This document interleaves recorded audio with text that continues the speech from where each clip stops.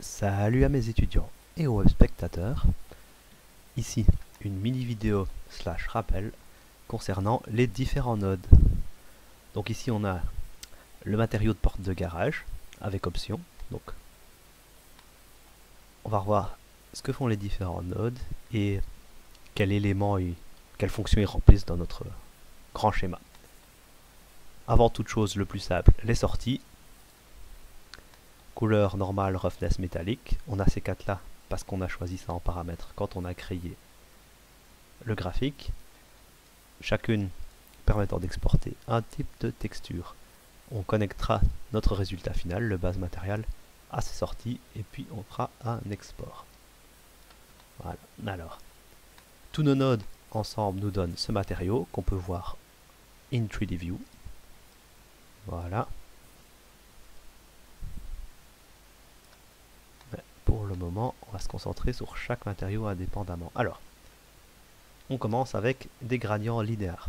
On veut en map de hauteur l'effet de porte de garage fermée qu'on a ici. Donc on l'a mis, par défaut c'est ceci. Ça donne un meilleur effet visuel quand on le répète, donc on le répète 9 fois. Alors, on prend ce même effet, mais version alternative, donc de noir, blanc, noir ici. Et on l'a de nouveau dans ses paramètres d'instance répété 9 fois. Alors voilà. Euh, gradient linéaire et gradient linéaire 2 sont des motifs, des patterns. Et on peut dire que ce sont des générateurs, puisqu'ils nous donnent cette map. On peut choisir leur résolution. On peut la modifier par rapport aux parents, ici dans EasyWist. Toujours la même valeur si on travaille sur des maps carrées. Alors, que ce soit celle-ci ou celle-là, je ne suis pas excessivement satisfait par l'effet. Je voudrais quelque chose de plus, un peu plus dur, un peu plus en forme. Donc ce que j'ai fait, c'est que j'ai ajouté un blend. Blend étant une des fonctions de base. Ici chez moi, c'est clic droit add node blend, sourd de les raccourcis. Un des plus communs, ça mélange deux choses. Donc ici, il mélange notre gradient linéaire 1 et notre gradient linéaire 2. On peut ajouter un masque pour euh, déterminer comment se fait le blend. Mais ici, vu que c'est une opération mathématique, on a juste fait un add sub. Alors pourquoi add sub? Basiquement parce que je voulais ce résultat là. Donc cette combinaison de ces deux maps pour avoir ça. Mais j'aurais pu euh, copier, c'est selon le masque, ajouter. Donc euh, le, les blancs s'additionnent, ce qui nous donne moins de noirs. J'aurais pu soustraire, donc les noirs s'additionnent, ce qui nous donne moins de blancs. Ou faire d'autres de ces opérations. Donc c'est un blend. Alors, les blends sont très très basiques. On, peut faire d'autres choses avec des blends que du gris. Ici c'est du niveau de gris, mais où on blend deux gris ensemble, ou on blend deux maps de couleurs ensemble.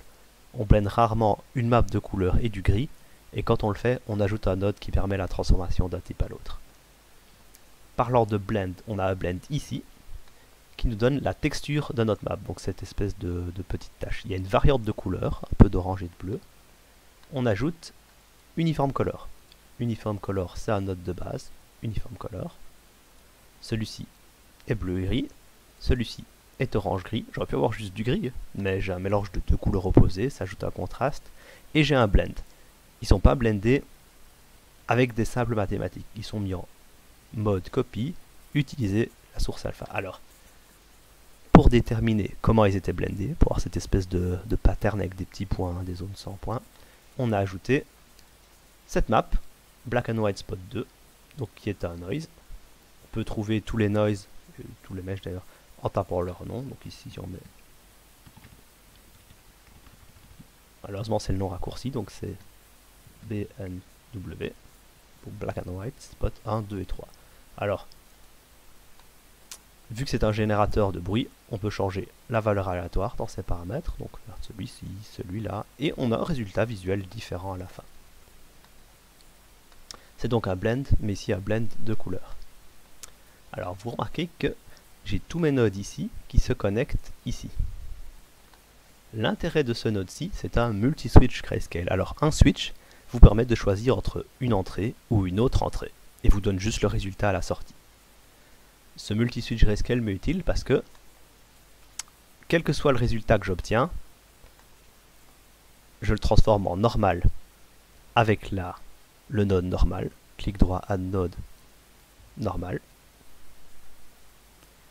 Je l'envoie en normal dans la normale. Je l'envoie tel quel dans la 8. Alors, je n'extrais pas de 8 ici, dans mes maps de sortie, mais j'aime bien l'avoir pour euh, mes, tests de rendu.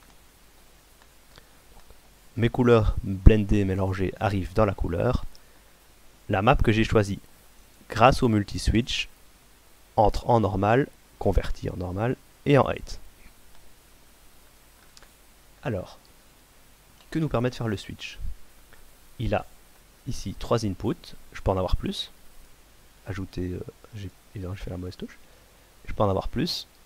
Ici on en avoir 4, 5, 6. Mais on va, toujours garder le nombre qu'on en a pas se compliquer la vie.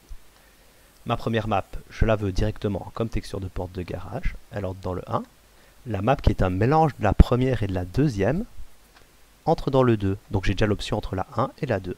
Alors, ce que je voulais ici, c'était que, vous avez déjà vu que des portes de garage, il y en a des comme un volet, avec les, embossements, ou euh, vertical, comme ici. Donc ici, j'ai ma marque verticale. Comment je l'ai fait? J'ai créé un autre gradient linéaire 1, mais je le voulais vertical. Donc ce que j'ai fait, c'est que j'ai créé un nouveau node qui s'appelle Save Transform faut le trouver dans la recherche. Save Transform pour la couleur et pour vos grayscale. Ici, c'est une map de noir et blanc, donc c'est un Save Transform Grayscale. Et je lui demande de faire une rotation de 90 degrés dans ses paramètres. Alors, Tile Safe Rotation est activé. Ça permet de, quand il est activé, ne pouvoir faire que des rotations qui permet que l'image se répète de haut en bas. Donc si on voulait faire à 92 degrés, ça ne change rien tant qu'on a laissé ça à vrai et si on le met, on obtient des résultats qui sont plus répétitifs dans la hauteur. Donc je vais le remettre. Je vais repasser à exactement 90 degrés. Alors voilà. Ici, je suis content de ma verticalité, mais je veux cet effet de barre haut. Donc il me faut une plage de noir pur, une plage de blanc pur et une zone de dégradé. Donc j'ai ajouté un level de cette map là à celle-ci. J'ai utilisé l'histogramme. J'ai regroupé ça dans un coin pour obtenir ces zones de blanc zone intermédiaire et zone de noir. Et ce level arrive dans mon switch. Donc j'ai trois inputs, trois entrées, et je peux choisir 1, 2 ou 3. L'intérêt de ce switch, c'est que quand on fait un changement, il se recalcule et il se recombine avec tout le reste et les étapes précédentes. Donc ici, j'ai mon option 3 pour la porte affichée. Je préférerais pour un travail ou l'autre mon option 1. Je change l'input sélection à 2 pour l'option 2. Voilà, j'obtiens ce que je voulais et le section 1 pour l'option 1. Qui est tout de suite euh, plus, direct, plus rigide. Pas nécessairement ce que je voulais, mais j'ai toujours le choix. Quand je le change, ça le change directement dans la normale et dans la 8. Le confort ici, je vais repasser en 3. C'est ce que fait mon switch. Donc c'est intéressant d'avoir un switch, mais si on switch un élément, il faut que les éléments soient directement en entrée ou en sortie de celui-ci, ou sans aucun rapport quand on change cet élément, pour pas avoir des discordances de résultats. On a vu ce que faisait notre blend color, on a vu comment on avait notre rate map jusqu'au switch. Alors, comme pour ma color, j'ai fait un blend pour ma roughness, parce que je ne voulais pas que tout soit exactement rough au même degré. Ce motif de tâche fait très, très réel. Donc ce que j'ai fait, c'est j'ai choisi une map de gris, j'ai choisi une autre map de gris. Alors si vous vous demandez comment j'ai ces maps de gris, c'est une uniforme color. On a toutes nos couleurs. Et on la change en grayscale. Alors, que ce soit des grayscale ou des uniformes color, on peut toujours en général réduire la résolution, parce qu'on n'a pas besoin de 256, quand de toute façon on va juste l'utiliser en l'état. Puisque j'ai déjà mes maps, j'en ai pas besoin, c'était pour vous montrer. J'ai créé une black and white spot 1. Si j'ai pas été distrait, ce n'est pas le même spot que la première, qui est une spot 2. Donc on varie le plaisir. Et j'ai utilisé black and white spot comme masque pour mélanger uniform color 1 et color 2. Ce qui me donne cette map qui est ma roughness. je le connecte toujours au port associé, couleur normale, roughness. Et ensuite, ma métallique, jusqu'à ce qu'on ajoute le stickers, qui est une autre partie du cours que je fais avec mes étudiants. La porte, elle est elle-même entièrement métallique. Donc on évite les intermédiaires de métallique si c'est pas entièrement métallique, 95% métallique, 95% pas métallique ou pas du tout métallique. Donc ici c'est une map de blanc au maximum. J'ai mis beaucoup trop de résolution pour ce que c'est. Donc on va la mettre à... On garde au moins 16 quand même, juste pour pas enlever trop le logiciel. Et voilà. Parce que j'ai des maps de 256 tout en 30, j'obtiens cette espèce de résultat qui fait 256. En vrai, j'essaierai toujours au moins 1024, donc je vais pouvoir modifier les maps au fur et à mesure plus tard. Ça, le masque peut être à 1024.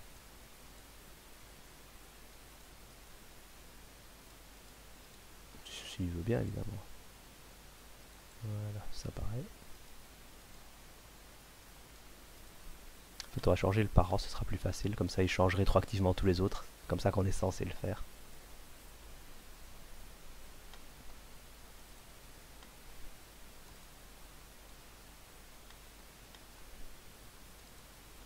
Alors, vous voyez qu'en dessous de chaque node on a un temps, c'est le temps de calcul que prend approximativement euh, le résultat de l'opération. Si on apporte notre substance finie telle qu'elle dans Unreal par exemple, qui prend en compte grâce à son plugin les substances, quand on fait une opération avec le matériau, il doit à chaque fois refaire l'opération et faire le calcul. Ici, vu qu'on exporte des maps, à la fin on a juste une image, donc peu importe le temps de calcul total. Et eh bien voilà, on a fait le tour. On a le matériau, on a vu tous nos nodes, on a vu toutes nos maps. Et ultérieurement, quand on aura fini et qu'on sera satisfait du travail, on fera, on connectera nos maps avec les sorties et puis on fera un export. Je vous souhaite tous, selon l'heure qu'il est, une bonne fin de matinée, une bonne après-midi ou une bonne soirée et à la prochaine.